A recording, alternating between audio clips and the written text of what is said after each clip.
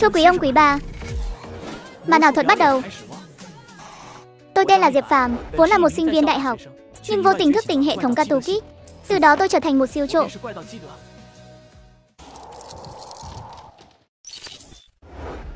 Xin chào các bạn khán giả. Đây là chương trình Thần trộm đô thị. Tôi là người dẫn chương trình Lâm Nhất. Trong xã hội hiện nay, với sự tiến bộ và phát triển của văn minh, mặc dù việc trộm cắp đã ít xảy ra, nhưng chúng ta vẫn không thể lơ là. Tôn chỉ của chương trình chúng tôi là đánh thức ý thức phòng ngừa an toàn của mọi người. Chương trình này là sự hợp tác giữa chính phủ và 10 tập đoàn lớn, tổ chức chương trình truyền hình thực tế quy mô lớn. Mùa đầu tiên có tổng cộng 10 thí sinh tham gia. Chương trình sẽ cho họ vào thành phố Mado để hoạt động. Sau khi những người này ra tay, chỉ khi nạn nhân hoặc người khác phát hiện và hoàn thành việc báo cảnh sát, đội truy bắt mới được xuất động. Hơn nữa, mỗi lần truy đuổi đều có giới hạn thời gian. Một khi vượt quá thời gian, đội truy bắt vẫn chưa bắt được tên trộm đó. Chương trình sẽ phải bồi thường với giá trị tương đương vật bị lấy đi. Thú vị thật, nếu lấy được đồ quý giá, chương trình chẳng phải lỗ lớn sao? Đúng là như vậy, nhưng họ có thể lấy được thứ gì đáng giá chứ? Đừng thần thánh hóa họ. Tôi đánh cược, 10 người cuối cùng lấy được tổng số tiền không quá 30.000. 10 thí sinh đâu phải ai cũng chuyên nghiệp. Tôi đoán có người vừa lấy ở bánh mì, đã bị nhân viên siêu thị bắt tại chỗ rồi. Vậy tiếp theo xin giới thiệu các thí sinh tham gia. Đầu tiên là hai chị em sinh đôi nổi tiếng trên mạng, Trần Diêu và Trần Hy. Họ là những ngôi sao lớn trên nền tảng phát trực tiếp, có 15 triệu người theo dõi. Yêu thích nhất là chị em nhà họ Trần, nhưng họ tham gia chương trình này liệu có lấy được gì không? Tôi thấy rất thú vị. Các bạn nghĩ xem, họ xinh đẹp như vậy, đi đâu cũng được chú ý. Làm sao ra tay được? Vì vậy họ sẽ không lấy được gì. Từ một năm, trước họ đã đánh cắp trái tim tôi rồi. Lầm nhất tiếp theo đã giới thiệu 6 người, thí sinh thường dân không nổi tiếng. Thí sinh thứ 8 là điệp viên đến từ phố Quốc và nam diễn viên nhóm nhạc Phát Thái Hiền. Người này từng đạt giải thứ 9 trong cuộc thi chạy đường phố thế giới. ô là anh Thái Hiền. Anh Thái Hiền không chỉ chăm chỉ diễn xuất, thể lực cũng rất tuyệt vời. Tôi từng xem video bà cơ của anh ấy. Có thể kỹ năng lấy đồ của anh ấy không giỏi, nhưng nếu muốn chạy, tôi đoán không ai có thể bắt được anh ấy. Muốn lấy cả Tết đoan ngọ nhà người ta. Họ không giỏi lấy đồ tôi cười rồi. Các bạn khán giả, thí sinh thứ 9 này khá là lợi hại đấy. Anh ta tên là Tống Miểu, là một siêu trộm đã giải nghệ. Từng được gọi là siêu trộm đầu thế kỷ. Sau đó tỉnh ngộ và ra đầu thú, do biểu hiện tốt nên bị giam giữ 10 năm 3 tháng, rồi được thả. Từ đó chuyên hỗ trợ cảnh sát trong công tác chống trộm cắp. Trời ơi cho người như vậy tham gia chương trình. Chương trình chơi lớn thật. Đừng quên, đến lúc đó các bạn phải bồi thường tương đương đấy.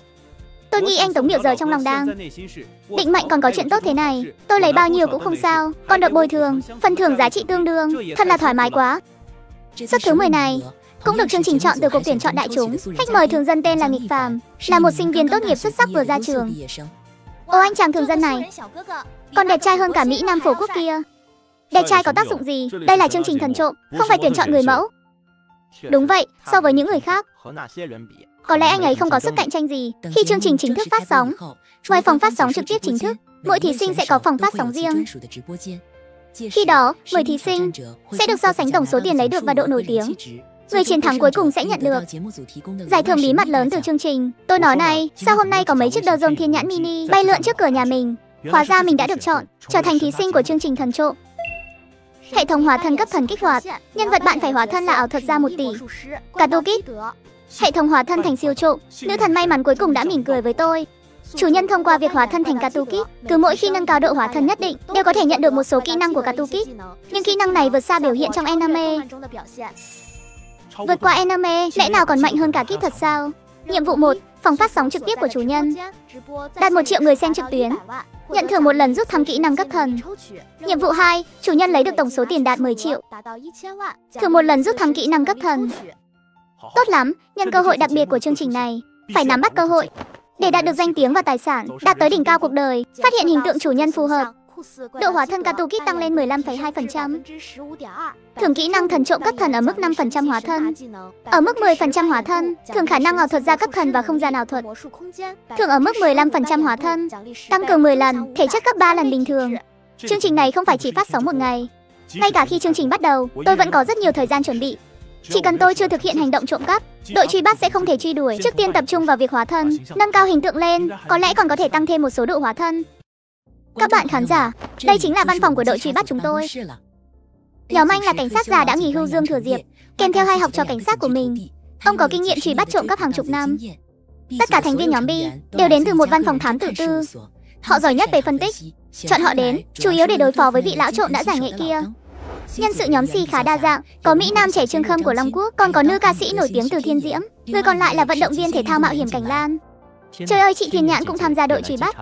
Nếu biết sớm tôi đã đăng ký tham gia cuộc thi rồi. Nếu được chị Thiên Nhãn tự tay tìm ra, tôi chốt cũng mãn nguyện. Còn có anh Trương Thanh Diệp nữa. Anh ấy rất chăm chỉ, vì một bộ phim trước đây anh ấy đã luyện ra 8 múi bụng. Mong chờ màn ra tay của anh ấy. Nhóm C này rõ ràng chỉ đến cho đủ số. Muốn bắt người thật sự vẫn phải trông cậy vào cảnh sát già và nhóm thám tử. Thiên diễn này, cũng không biết lần này chúng ta sẽ bắt ai. Từ từ đợi đi, nói thật tôi hơi căng thẳng.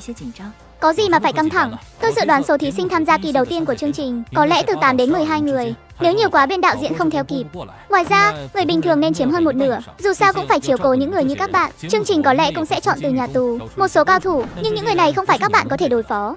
Thực lực không cần xứng xem cũng chẳng thú vị. Chị ơi, bây giờ 10 cái tên trên bảng xếp hạng vẫn chưa động đậy. Chúng ta hành động nhanh lên. Biết đâu có thể tạm thời giành vị trí số 1. Hi hi, nói đúng đấy, nhưng chương trình cũng nói rồi, đồ lấy được sẽ được quy đổi tương đương. Nghĩa là, chúng ta không nhất thiết phải lấy từ ví của người khác. Nói cũng phải. Làm vậy khó quá. Chúng ta chưa qua đào tạo chuyên nghiệp. Làm sao làm được, vì vậy, tôi có một ý nhỏ. Chúng ta có thể... Ông chủ ơi, ông chủ, có đó không? Tôi muốn mua hoa quả. Cậu muốn gì? Hay là vào nhà xem nhé. Trong nhà có đủ loại hoa quả. Được, vậy vào xem thử.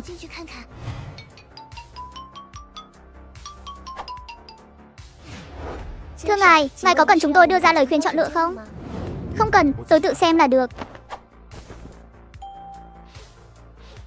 Độ hóa thân tăng lên 21,3%. Thưởng kỹ năng hóa trang của siêu trộm, kỹ năng biến hình siêu trộm, kỹ năng thu nhỏ xương của siêu trộm. Sẽ sử dụng thủ thuật của áo thuật ra hàng đầu, tìm cơ hội đổi quần áo và lẻn đi. Chủ cửa hàng có nhà không? Xin lỗi. Chủ cửa hàng đi nước ngoài dự hội thảo, 3 ngày nữa mới về. Chủ cửa hàng cũng không đến được, vậy chúng ta đã chống ba tấm thiệp mời rồi. Không sao, đó không phải việc chúng ta cần lo. Quần áo ở đây khá đẹp. Cậu cứ xem ở đây đi, tôi đi nhà vệ sinh một lát. Xin lỗi nhé, tôi vội đi vệ sinh. Không sao, không sao, có thể hiểu được. Thưa ngài, xin hỏi quẹt thẻ hay thanh toán qua WeChat? Quẹt thẻ, không cần mật khẩu. Triển lãm trang sức có vẻ thú vị. Viên đá quý đó tôi nhất định phải lấy.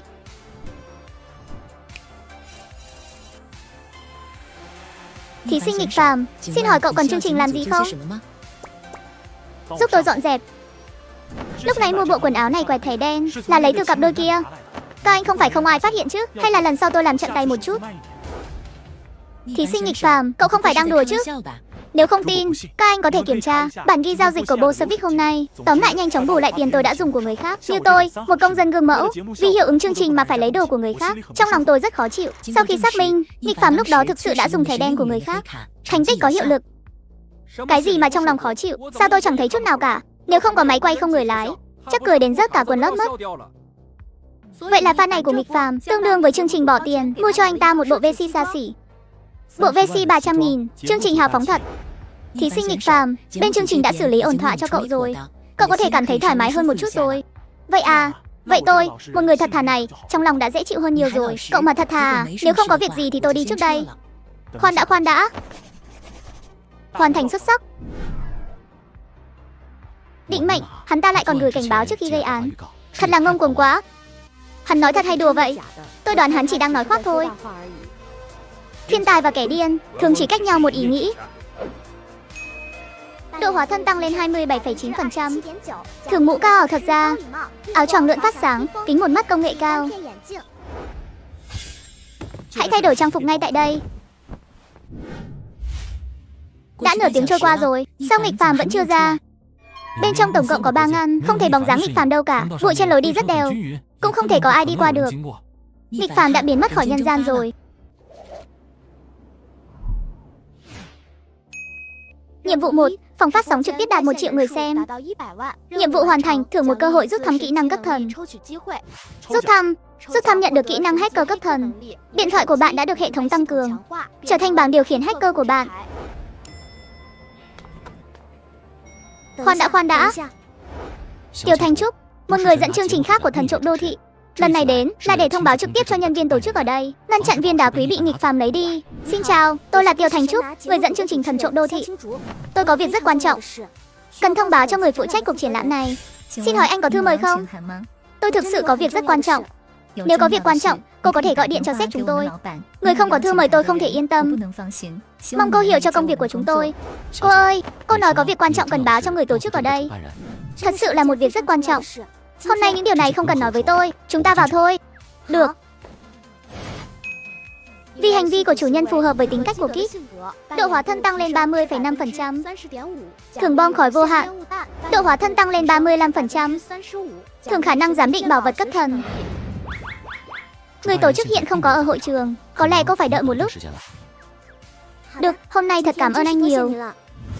Này, tên nghịch phàm này không phải đã nắm được một loại kỹ thuật hóa trang, rồi lén lút trốn ra khỏi cửa rồi chứ? Ý nghĩ của cậu tôi cũng đã suy đoán trước khi đến đây, nhưng rõ ràng không, phải như vậy, phải biết rằng trước khi đến đây, anh ta đã ghé qua cửa hàng thời trang Bolshevik, quần áo đắt tiền đều được đựng trong túi mua sắm, nhưng tôi đã kiểm tra mọi ngóc ngách của nhà vệ sinh, không tìm thấy bất kỳ túi mua sắm nào hoặc dấu vết của quần áo. Đúng vậy, Tiếc là camera của quán giải khát này bị hỏng, nếu không chúng ta có thể so sánh. Người ra vào nhà vệ sinh. Không biết đội truy bắt phát hiện tôi biến mất, sẽ phản ứng thế nào? Chiêu họ một chút. Xin lỗi, xin lỗi, tôi có một cuộc gọi video. Cảnh sát Dương, là cuộc gọi video từ Diệp Phàm. Cái gì? Nhanh lên, Trương Tam liên hệ với sở cảnh sát, bảo họ định vị từ xa theo tín hiệu. Rõ, thí sinh nghịch phàm. Xin hỏi hiện giờ anh đang ở đâu? Tôi đã công bố thư báo trước rồi mà. Chỉ nhớ của các anh kém quá. Vậy tôi báo trước lần nữa. Tối nay 9 giờ, tôi sẽ đúng giờ lấy đi viên hồng ngọc ánh sáng bình minh. Sở cảnh sát đã xác định được vị trí của hắn chưa? Thưa sư phụ, người của sở cảnh sát nói, điện thoại của Diệp Phàm sử dụng một loại thuật toán địa chỉ mã hóa đặc biệt, hoàn toàn không thể định vị vị trí của hắn thông qua tín hiệu. Độ hóa thân tăng lên 35,7%. Thường khả năng giám định bảo vật cấp thần. Đã tìm được người tổ chức ở đây chưa? Ây, đã tìm thấy rồi, nhưng ông ấy đang bận. Em rằng bây giờ không có thời gian để ý đến tôi. Bộ dây chuyền ngọc lục bảo này có lẽ do nhà thiết kế nổi tiếng Malan, Canner của Thụy Sĩ thiết kế, đã sử dụng 28 viên ngọc lục bảo không dầu. Những viên đá quý này có màu sắc rất tinh khiết và trong suốt, là hạng thượng thượng phẩm trong ngọc lục bảo. Thật là một thiết kế táo bạo và đầy trí tưởng tượng. Đây thực sự là một món đồ hiếm có trong giới trang sức. Anh có vẻ rất am hiểu về trang sức. Dù sao những năm qua theo học bậc thầy đào Y Khanh, dù có ngu đần cũng học được một số kỹ năng. Anh là đệ tử của bậc thầy đào. Quả nhiên là người tài ba. Không biết bậc thầy đào gần đây có khỏe không? Sư phụ tôi sức khỏe tốt, nhưng gần đây bận xử lý một số việc riêng nên mới cử tôi thay ông ấy đến đây. Ra là vậy. Dám hỏi quý danh của ngài, có gì là quý danh đâu. Tên đầy đủ của tôi là Diệp Tiểu Phàm, cứ gọi tôi là Tiểu Phàm là được. À phải rồi, tôi có một người bạn phóng viên, cô ấy nói có chuyện quan trọng muốn nói với anh. Được, xin hỏi cô có chuyện gì muốn nói với tôi? Là thế này, tôi là người dẫn chương trình của thần trộm đô thị. Chúng tôi đã chọn tổng cộng 10 thí sinh, cho họ hoạt động ở Mado. Trong đó có một thí sinh. Hoàn toàn thoát khỏi sự kiểm soát của chúng tôi, thậm chí còn tuyên bố sẽ đến triển lãm trang sức, lấy đi viên đá quỷ ánh sáng bình minh. Tôi nghĩ anh ta đang đùa thôi. Nếu không có thư mời, anh ta thậm chí không thể vào hội trường, làm sao có thể hành động? Cái gì? Anh ta đã vào rồi sao? Lập tức tăng cường lực lượng an ninh. Chủ tịch, bên chương trình đã cử đội truy bắt đến rồi. Họ đang trên đường. Ông Tư không, lần này chúng tôi đã cử 10 chiếc đơ dôn thiên nhãn. Phía sau mỗi chiếc đơ dôn đều có nhân viên điều khiển chuyên nghiệp. Tôi tin rằng nghịch phản chắc chắn không dám làm vậy. Cảm ơn sự tốt bụng của chương trình. Tôi cũng tin rằng lần này sẽ không có sơ suất nào. Đội truy bắt của họ cũng có người biết Parker. Thật không dễ để thoát khỏi anh ta, nhưng cú lộn nhào và hai bước lên xuống vừa rồi của tôi chắc chắn đã thu hút được một lượng fan lớn. Xem thử độ nổi tiếng của tôi bây giờ. Sao có thể như vậy được? Chuyện gì thế này? Đây còn là con người nữa sao? Chắc không phải là thần tiên chứ? Làm sao anh ta đến được tòa nhà Ginmao? Dịch chuyển tức thời à? Sư phụ, bên sở cảnh sát lần này đã cử 20 anh em đến. Tốt, có những trợ thủ đắc lực này, hôm nay dù nghịch phàm có cánh cũng khó thoát.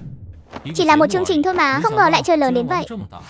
Gọi nhiều người đến thế thực sự là thừa thãi, đôi khi không phải cần nhiều người, mà cần người giỏi. Nghịch phàm không thể thoát khỏi ngũ chỉ sơn của tôi. Anh ta không phải người bình thường, điện thoại của anh ta không thể theo dõi định vị, còn biến mất trước mặt hàng trăm nghìn người ở quán giải khát. Về thủ đoạn của anh ta, chúng ta đến giờ vẫn chưa giải mã được. Tất cả mọi người chia làm hai đội, một đội canh gác bên trong phòng triển lãm, đội còn lại canh giữ tất cả lối ra vào của tầng 9 tòa Ginmao.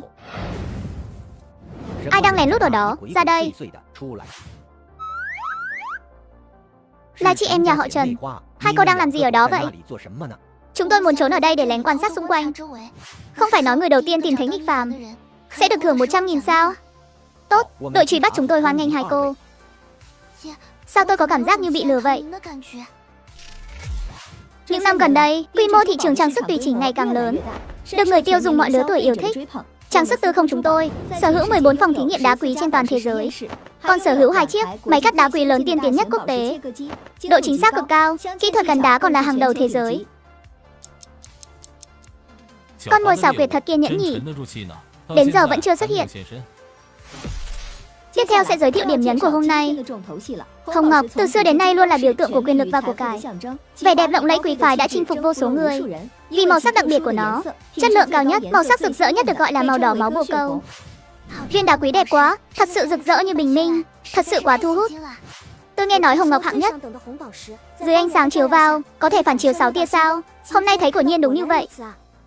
Hồng ngọc thông thường, phần lớn có màu tím đỏ hoặc hồng.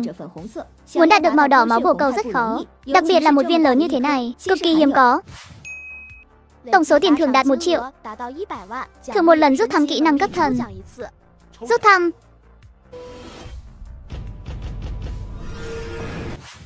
Rút thăm hoàn thành, thưởng kích kiun do cấp thần. Đây là triết lý và phương pháp thực chiến do võ phái Vinh Quốc sáng lập. Bộ quyền pháp này rất tinh diệu, kết hợp nhiều môn quyền thuật trên thế giới, lấy tư tưởng đạo gia làm chủ đạo để sáng tạo ra một hệ thống chiến đấu thực tế. Ông Diệp, khoảng thời gian đến lúc tên cướp đến, chỉ còn vài phút nữa thôi. Chúng ta có nên làm gì không? Hay là thế này nhé, hắn muốn lấy trộm viên đá ánh sáng bình minh phải không? Chúng ta vây quanh tủ trưng bày, xem hắn làm sao lấy được. Đó là một ý kiến hay đấy. Vừa hay, tôi cũng muốn xem kỹ thuật cắt đá của công ty các anh. Vậy xin nhờ anh. Số 5, bên ngoài không có động tĩnh gì, hắn vẫn chưa ra. Có hai khả năng, hoặc là hắn thất hứa, hoặc là hắn đã ở trong phòng triển lãm rồi. Cái gì? Điều đó không thể nào. Tất cả mọi người đứng yên, nghịch phàm rất có thể đang ẩn nấp giữa chúng ta. Chỉ cần 2 phút là có thể xác định được. Bây giờ tất cả đứng tại chỗ, đặc biệt là những nhân viên an ninh mới tham gia. Hắn là một người tự tin, kiêu ngạo và giữ lời hứa. Hắn đã nói 9 giờ sẽ đến lấy viên đá, thì hắn chắc chắn sẽ đến. Hắn đang ở đâu? Không đúng, tôi đã sai ở đâu? Sai hướng rồi. Tôi đã chọn sai hướng. Chỉ cần hôm nay hắn xuất hiện, tôi nhất định sẽ tự tay bắt được hắn. Tôi tin rằng anh chắc chắn sẽ đến. Nhưng sẽ từ đâu đây? Chuyện gì vậy? Sao đèn lại tắt? Tất cả mọi người lấy điện thoại ra, bật đèn tin lên. Trước tiệt, viên đá quý đâu rồi? Tất cả mọi người không được rời khỏi đây. Lý Tứ, anh đi kiểm tra tình hình điện. Viên đá ánh sáng bình minh, tôi xin nhận lấy. Chúng ta cùng lên. Tuyệt đối không thể để hắn chạy. Dù anh dùng cách nào để vào và lấy viên đá, cuối cùng anh chỉ có một đường thoát. Chỉ cần phục kích trên đường đó, anh đừng hòng thoát ra ngoài. Là tôi chói anh, hay anh ngoan ngoãn đi với tôi. Nhắc nhở anh một chút, tôi có đai đen taekwondo cấp 7. Anh định làm gì vậy? Thí sinh nghịch phàm, anh định bỏ cuộc à? Bỏ cuộc gì? Tôi đã lấy được viên đá rồi. Chỉ cần rời khỏi đây là có gần 200 triệu. Tại sao tôi phải bỏ cuộc? Vậy anh tìm tôi có chuyện gì? Đạo diễn chương trình đang ở bên cạnh anh phải không? Tôi chỉ muốn biết. Nếu tên đó bị tôi đánh ngã thì có phạm pháp không? Cứ thử xem, nếu anh thực sự có thể đánh ngã tôi, tôi sẽ không gây rắc rối cho anh. Anh lại đây đi.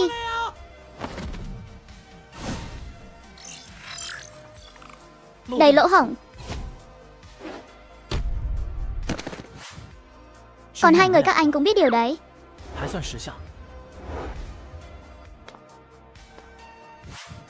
Lộ trình này là lên tầng thượng à? Chẳng lẽ có người đón hắn trên sân thượng?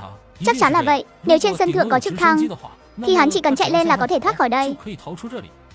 Tiểu 16 lập tức nói với Dương Thành Nghiệp, bảo họ đi thang máy thẳng lên tầng thượng. Đúng là lộ trình thoát thân của hắn là lên tầng thượng. Tôi nghi ngờ trên đó có trực thăng đón hắn. Dù sao đó cũng là viên đá quý trị giá hơn 200 triệu, rất có thể là một nhóm gây án. Tôi hiểu rồi. Lúc này tôi đã bất cẩn, không né được. Lên đó tôi sẽ đánh với hắn một trận nữa. Thể chất của hắn mạnh hơn vẻ ngoài rất nhiều, nhưng nếu anh nghiêm túc một chút, tôi nghĩ hắn chưa chắc đã là đối thủ của anh. Bây giờ bắt người là quan trọng nhất, không có thời gian cho các anh đánh nhau. Các anh đến rồi. Diệp Phàm, cậu mau lại đây, trò chơi truy đuổi này đến giờ đã kết thúc rồi. Thí sinh Diệp Phàm, sao cậu lại đứng ở đó? Quá nguy hiểm, mau lại đây. Tìm kiếm viên đá định mạnh Pandozer. thử một cơ hội giúp thăm đạo cụ cấp thần. Số người xem trực tiếp đạt 5 triệu. Thưởng một cơ hội rút thăm đạo cụ đặc biệt. Tổng số tiền thưởng trong phòng phát sóng đạt 5 triệu. Thưởng một cơ hội rút thăm kỹ năng cấp thần. Tôi muốn biết viên đá quý này. Chương trình sẽ cho tôi bao nhiêu phần thưởng tương đương? Diệp Phàm, bây giờ tôi muốn nói là lời đạo diễn hứa của chương trình nói với cậu, cậu mau xuống đi, đừng làm bất cứ chuyện dại dột nào. Nếu cậu chọn hành vi cực đoan quá khích, chương trình sẽ không bồi thường tương đương cho cậu. Hành vi cực đoan quá khích là gì? Tự sát chính là hành vi cực đoan quá khích. Tại sao tôi phải tự sát? Những điều tốt đẹp của cuộc đời tôi còn chưa trải nghiệm đủ, làm sao có thể tự sát được? Vậy cậu lại đây đi. Tôi bây giờ qua, các anh sẽ ua tới, viên đá sẽ mất trong nháy mắt. Trước đây tôi còn khá coi trọng cậu. Không ngờ cậu lại ngang ngược như vậy. Thua là thua rồi, cậu không cần dùng hành vi này để uy hiếp chương trình. Sai rồi, bây giờ tôi chỉ muốn biết tôi mang theo viên đá bao lâu thì tính là đội truy bắt kết thúc điều tra. Tôi thực sự không hiểu cậu đang nói gì. Kết quả của cuộc truy đuổi này đã rất rõ ràng rồi. Theo quy tắc ban đầu, trong vòng 24 giờ sau khi cậu có được viên đá, nếu đội truy bắt không bắt được cậu thì cậu thắng. Tôi đợi chính là câu nói này của anh. Đã vậy, tôi đi trước đây.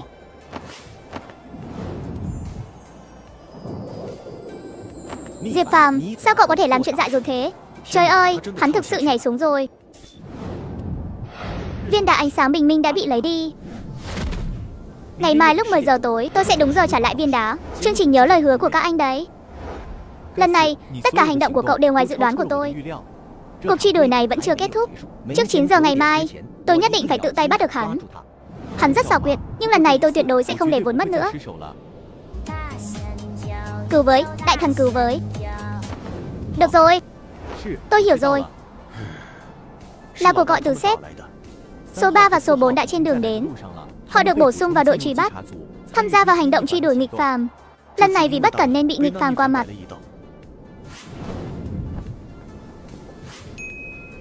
Viên đá ánh sáng bình minh trị giá 200 triệu, vì vậy bạn nhận được 20.000 điểm. Bây giờ, bạn có thể dùng điểm để tuyển mộ đội siêu trộm của riêng mình. Tuyển mộ đội ngu cũng được. Một cây làm chẳng nên non, đặc biệt là khi liên quan đến các hoạt động quy mô lớn, cần phải chuẩn bị kỹ lưỡng. Điều này đòi hỏi nhiều loại người khác nhau. Tạm thời tích lũy đủ điểm đã, sau này khi cần sẽ tuyển mộ đội ngũ. Bất kể đây là chương trình gì, hãy dừng ngay lập tức và tìm lại viên đá quý của tôi. Ban đầu khi tổ chức chương trình này, 10 tập đoàn lớn chỉ cấp 100 triệu ngân sách, từ tiếp thị ban đầu đến các loại quảng cáo. Đã tiêu gần hết rồi.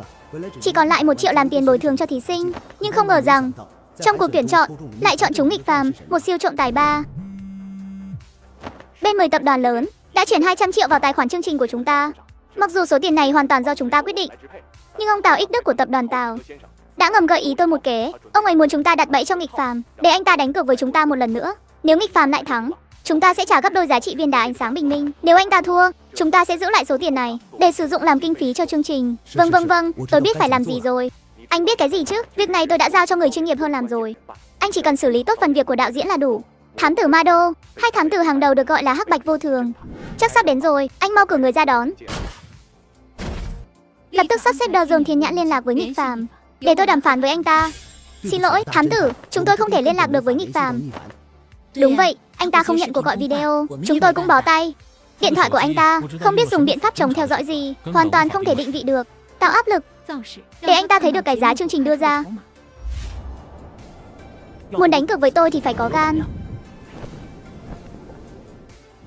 Singapore, tôi tên là Đông Bắc Wasidu. Chị gái chưa tan ca à? Hôm nay đội chúng tôi sẽ làm việc suốt đêm để truy bắt anh. Đưa điện thoại cho tôi. Nghịch phàm, hãy đánh cược một phen. Nếu anh thắng, có thể nhận được gấp đôi bồi thường. Chương trình các anh không phải là ông bụt đâu nhỉ? Hào phóng thế, còn muốn cho tôi thêm 200 triệu. Vậy là anh đồng ý rồi nhé.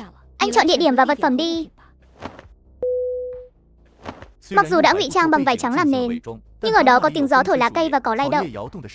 Anh ta có lẽ đang ở trong một khu rừng. Trong nền video có một tiếng chuông rất nhỏ, gần như không thể nhận ra, dựa vào độ dài của âm thanh. Đó là tiếng chuông kết thúc tự học tối ở khu đại học. Anh ta có lẽ đang ở công viên gần khu đại học. Cô chủ, cô chủ, Bắc Phúc, hãy đến khu đại học. Vị trí cụ thể tôi sẽ nói trên xe. Vâng, cậu chủ. Hóa trang, rốt cuộc anh ta làm thế nào? Và quần áo đó anh ta để đâu? Áo choàng và mũ lại từ đâu ra? Anh ta là một ảo thuật gia, nhưng vấn đề này không phải chúng ta nên suy nghĩ. Một người biết hóa trang và ngụy trang thực sự khó bắt. Chết tiệt, tôi đã mắc sai lầm lớn. Sai lầm lớn rồi. Chính tôi đã dẫn sói vào nhà. Cha, ý cha là sao? Lúc đó hắn tự xưng là đệ tử của bậc thầy đào. Tôi trò chuyện rất hợp ý. Xem hắn như bạn tri kỷ. Khi gần đến 9 giờ, tôi hỏi hắn bây giờ nên làm gì. Hắn đề nghị chúng tôi vây quanh đồ trang sức. Tôi thực sự không ngờ. Hắn chính là nghịch phàm. Bị hắn lừa một vố. Lão cha này lần này thật mất mặt quá. Tập đoàn Tôn Thị, tôi nhớ không lâu nữa, tập đoàn họ sẽ tổ chức triển lãm. Một con voi, một đường. Có vẻ như cái này. Mở hệ thống tiền mộ đồng đội. Châu Khả, tay đua siêu hạng. Trình độ vô địch F1. Giỏi điều khiển các loại phương tiện. Sau khi gia nhập đội có thể tiêu hao điểm. Nâng cấp khả năng điều khiển từ cấp bậc thầy lên cấp thần. Vương Nhuận Viễn, nhà phát minh siêu cấp như tiến sĩ Ergaser, sở hữu căn cứ phát minh công nghệ cao riêng. Mọi yêu cầu hợp lý bạn đưa ra, anh ta đều có thể đáp ứng. Có thể tiêu hao điểm, nâng cấp khả năng phát minh từ cấp bậc thầy lên cấp thần. Được, hai người này tôi đang cần tuyển mộ. Tuyển mộ đã hoàn thành, mở khóa nhiệm vụ mới. Lấy được tổng số tiền đạt 500 triệu. Thưởng một chiếc xe đua cải tiến hạng AC. Lấy thành công vương miện sông Nan. Thưởng căn cứ phát minh cấp bậc thầy. Bây giờ, thông tin thành viên đã được thêm vào danh bạ của bạn. Sếp, anh đang ở công viên lục địa khu đại học phải không? Đúng vậy, bây giờ đoàn làm chương trình đang đến chỗ anh. Cặp anh em này khá lợi hại. Sếp, bây giờ tôi lái xe đến đón anh.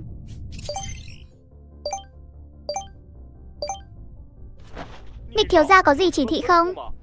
Anh biết vương miện sông nan không? Không biết, để tôi tra cứu.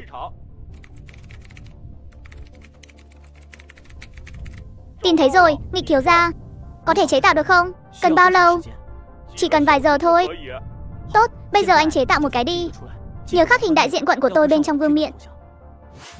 Đoàn làm chương trình đặt ra quá nhiều quy tắc để ràng buộc chúng ta hoàn toàn không thể phát huy hết sức mạnh. Nhưng tên nghịch phàm này cũng khó đối phó thật. Còn biết ngụy trang nữa, phải làm sao đây? Chúng ta hôm nay biểu hiện quá tệ rồi. Bên sở cảnh sát sẽ cử hai nhân viên ưu tú đến giúp. Hai vị sư phụ nào vậy? Chúng ta có quen không?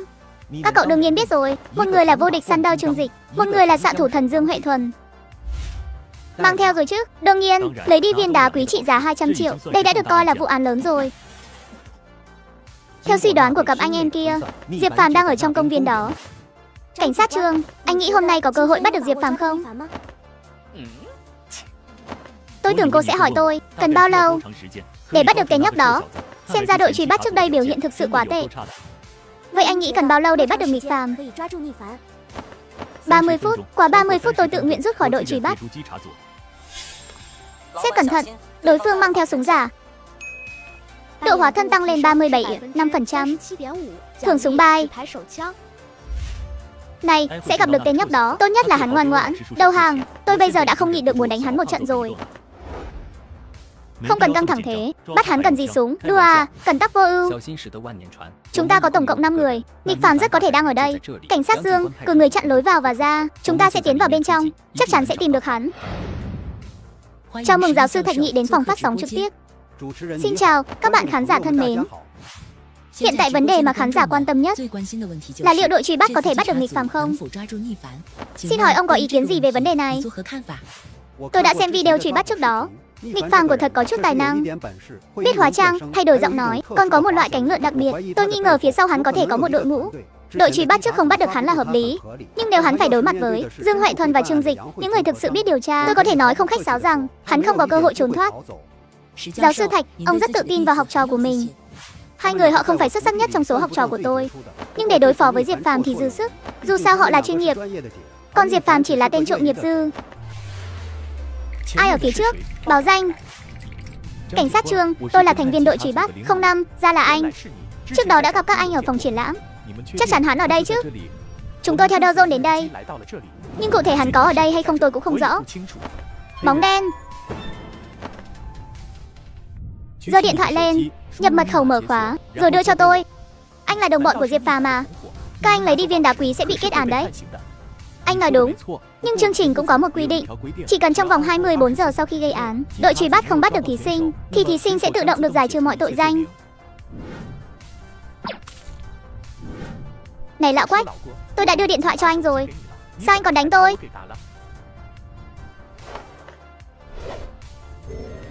Áo khoác và quần. Hóa ra anh là nghịch phàm. Anh lấy những thứ này làm gì? Anh không đọc quy tắc à? Chương trình này đòi hỏi tính chân thực. Anh quên là bây giờ anh đã chốt rồi sao? Đoạn này đừng quay Tên nghịch phàm này thật xảo quyệt Để tôi thấy hắn Tôi thật muốn đánh hắn một trận Một tin nhắn trong nhóm do Trương Tam gửi đến Này, họ có phát hiện gì không? Tôi đã phát hiện ra nghịch phàm ở hành lang phía tây tầng 2 Hắn đã phát hiện ra chúng ta Nhanh lên, khoan đã Theo tài liệu chúng ta có Tên nghịch phàm này nắm giữ kỹ thuật biến hình và thay đổi giọng nói Tôi nghĩ liệu đây có phải là bẫy của hắn không? Hay là thế này, chúng ta chia ra hành động cách nhau một đoạn Tôi sẽ dùng súng đồ chơi yểm trợ anh từ xa. Nếu là bẫy, tôi đảm bảo, ngay khi nghịch phàm xuất hiện, tôi sẽ bắn trúng mặt hắn ngay. Số người xem trực tiếp đạt 5 triệu. Nhận được một cơ hội rút thăm đạo cụ. Rút thăm. Chúc mừng bạn nhận được bom khói ngủ sạc điện. Loại bỏ bất kỳ thành viên chủ chốt nào của đội truy bắt sẽ được thưởng. Độ chính xác cấp thần. Anh là Trung Tam, đã phát hiện nghịch phàm ở đây. Đúng vậy, chính là ở đây. Tôi thấy anh rất đáng nghi. Làm sao anh chứng minh anh là Trương Tam? Tôi chính là tôi. Tôi cần chứng minh gì chứ? Trương Dịch truy bắt, anh định làm gì? Bây giờ không chỉ có mình tôi chĩa súng vào anh đâu. Anh muốn chứng minh mình là Trương Tam. Rất đơn giản. Lại đây để tôi kiểm tra khuôn mặt anh. Chết tiệt.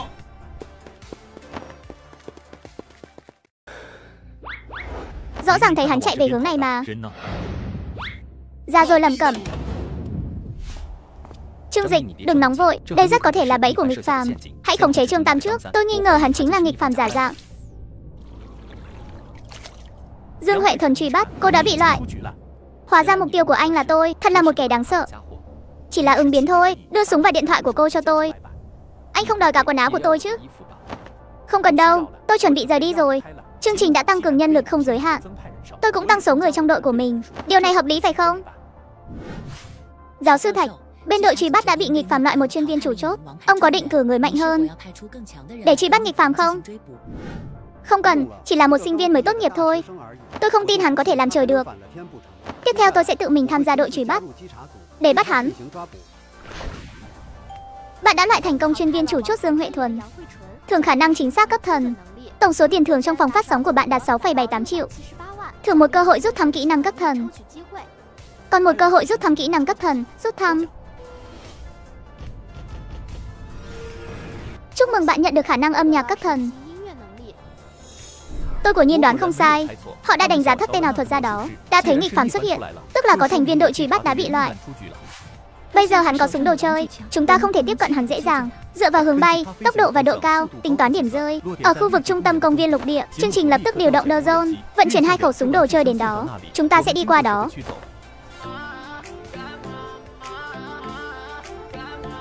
Thám tử Tôn Trung Ngọc, xin chào, tôi là giáo sư Thạch Nghị vừa gia nhập đội truy bắt. Anh có phiền nếu chúng ta hợp tác không? Ông muốn hợp tác thế nào?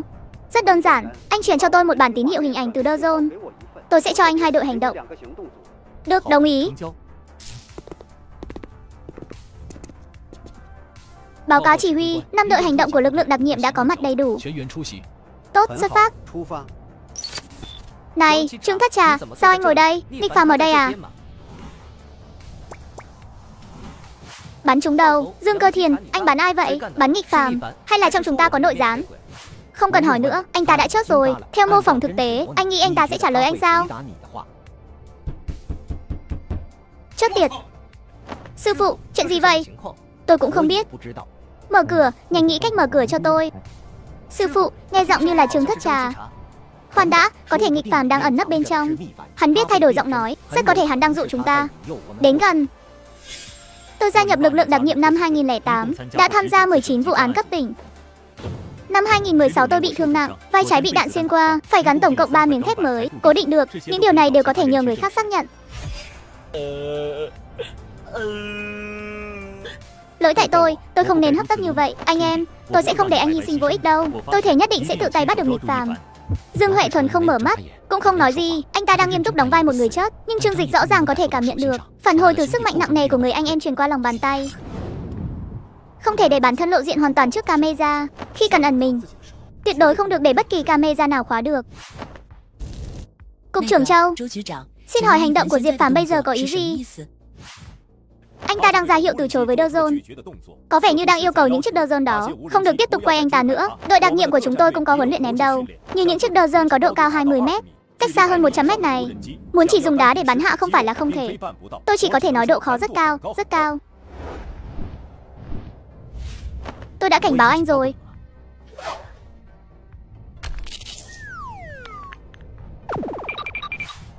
Nhiệm viễn, bên anh có cách nào biết được đoàn xe của giáo sư Thạch bây giờ đã đi đến đâu không? Xếp lên xe nhanh. Việc này rất đơn giản, cho tôi 15 giây. Dưới sự chỉ dẫn của Vương Nhân Viễn, Nịch Phàm dễ dàng tránh được đội đặc nhiệm và đến được nơi anh ta đang ở. Về Vương Miện Sông Năn và nhà họ Tôn, anh đã thu thập được bao nhiêu thông tin? Vương Miện Sông Nan được vận chuyển từ nước ngoài về cách đây 3 ngày. Đồng thời, còn có một số đồ trang sức và tác phẩm nghệ thuật quý giá khác. Hiện tại, vẫn đang ở trong dinh thự của nhà họ Tôn tại khu nhà giàu Mado. Dự kiến ngày mai sẽ được chuyển đến bảo tàng của nhà họ Tôn để trưng bày. Ngoài ra tôi còn điều tra được Nhà họ Tôn vì chiếc vương miện này đã đặc biệt chế tạo 10 tủ trưng bày đặc biệt. Loại tủ trưng bày đó không thể dùng kỹ thuật hacker để phá. Phải dùng thẻ từ đặc biệt được thiết kế riêng mới có thể mở được tủ. Tôi hiểu rồi. Nhiệm vụ, bên anh hiện có những phát minh gì? Lịch thiếu gia, chỉ cần dán nam châm này gần hệ thống điều khiển trung tâm của xe là có thể hack toàn bộ hệ thống điều khiển của xe. Sau đó dùng tay cầm này để điều khiển xe từ xa. Còn có loại miếng dán vân tay vô hình này, chỉ cần dán nó lên ngón tay là có thể sao chép vân tay, rất tiện lợi. Rất tốt, anh Châu. Anh còn xe nào khác không? Còn ba chiếc. Sếp muốn đi đâu? Đến nhà họ Tôn. Được, sếp, tôi đi lấy xe ngay. Khoan đã, biển số xe của anh không bị theo dõi chứ? Sếp yên tâm, xe của tôi đều dán biển số giả, hoàn toàn không bị lộ đâu.